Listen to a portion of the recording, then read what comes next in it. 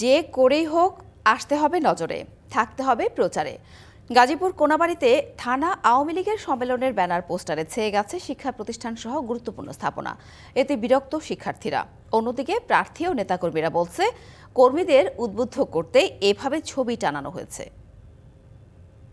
বহুতল ভবন জুড়ে ব্যানার ফেস্টুনে নেতাকর্মীদের রঙিন প্রচারে ঢাকা পড়েছে পুরো শিক্ষা প্রতিষ্ঠান। হঠাৎ দেখলেই মনে হতে পারে আওয়ামী লীগের দলীয় কোনো কার্যালয় এটি।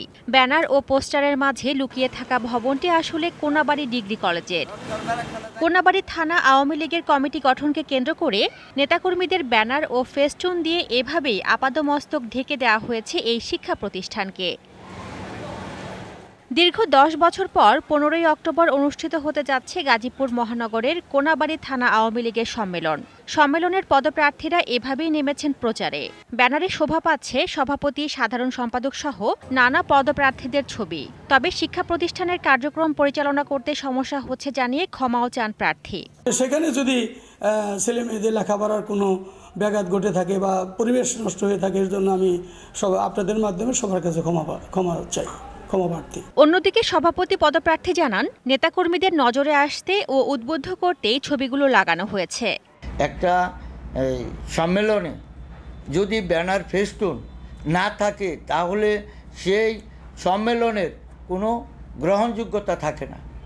সেই কারণে মানুষের কে এবং কর্মীদেরকে উদ্বুদ্ধ করার এটা একটা প্রক্রিয়া। এমন বাড়াবাড়িতে ক্ষোভ প্রকাশ করেছেন শিক্ষার্থীরা। জানান শিক্ষা কার্যক্রমে ব্যাঘাত ঘটছে।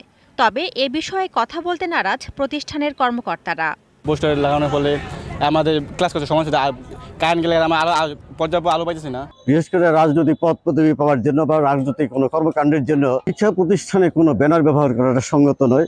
পূজার ছুটি শেষে খুলেছে শিক্ষা প্রতিষ্ঠান কিন্তু তার আগে এই জঞ্জাল পরিষ্কার করবে কে সে প্রশ্নই এলাকাবাসীর।